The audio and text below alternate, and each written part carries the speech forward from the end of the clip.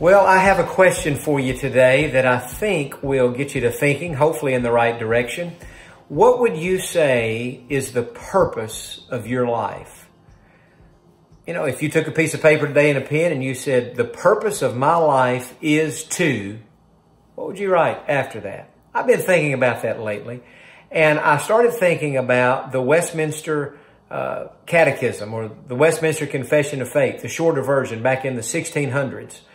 And in that document, as you had these uh, religious leaders from uh, England and Scotland trying to just jot out some of the basic tenets and beliefs of the Christian faith, at one point they said, man's chief end is to glorify God and enjoy Him forever. Let me say that again.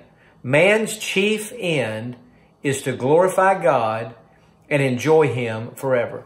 And so today you start thinking about the purpose of your life, or not just the purpose, but what do you really want out of life? What is the purpose of, what is the purpose of life? What are we hoping to accomplish? Is it just to, to live to be a hundred, or is it to make a lot of money, or to get a better job, or to have a big family? I mean, those things would be great if that's God's will, but is that really the purpose and the goal of life? Is that man's chief end? No. Man's chief end is to glorify God and to enjoy Him forever. And so I've been thinking about that today, and I wanted to pass that on to you. And I was thinking about this just about an hour or so ago as I was coming home from, I've been at church today and then running an errand, and I was coming home thinking about that. And I thought, well, if my goal in life is to glorify God and to enjoy Him forever, then I don't want to do anything that would prevent me from glorifying God. And I don't want to do anything that would cause me to not to enjoy God or to lose my enjoyment or my peace or my oneness with God. And so I really think if we'll think about that, and it's just kind of come back to my mind today, I having to process it. But if we'll just say, you know what, God put me on this earth for this reason, to glorify Him, that is that through my life, I would be a good representation of God that I would be a blessing to people, that I would honor God. That I mean, we don't we don't always do that. I certainly don't always do that, but that ought to be my goal nonetheless to glorify God and then to enjoy Him forever.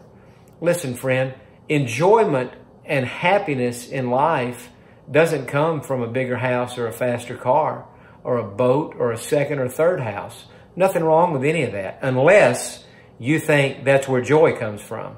If you think that's where joy is found, you're setting yourself up for dis disillusionment and disappointment. Man's chief end, our goal, is to glorify God and to enjoy Him forever.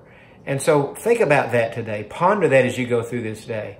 And I encourage you as you go through this day, try to glorify the Lord and just enjoy His presence. That's all. That's, that's really life in a nutshell. So I hope that's helpful for you today. Have a great day.